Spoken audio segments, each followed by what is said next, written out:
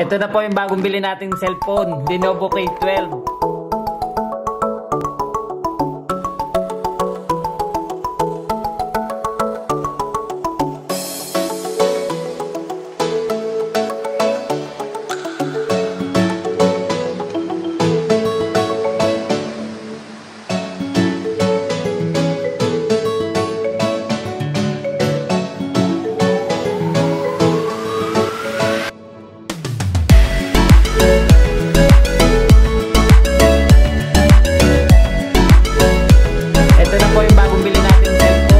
Lenovo K12 Note.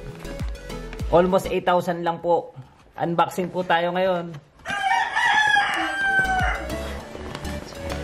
Ito po siya.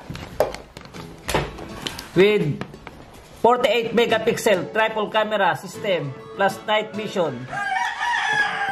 Days of power of battery 500 megahertz. Octa-core processor, 4, 4 GB 6.5 HD plus max vision display, 128 GB storage, plus micro SD card slot. Dedicated Google Assistant Bluetooth.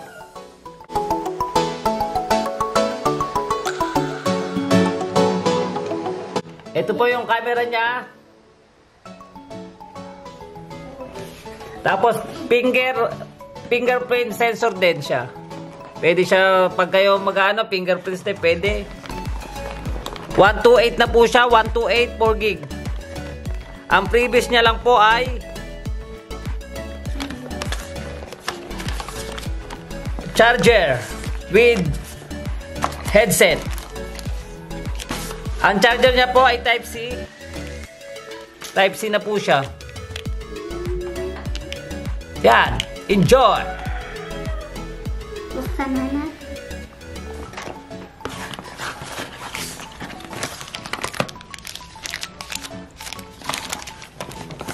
Yan lang po. 8,000 lang po, 8,000.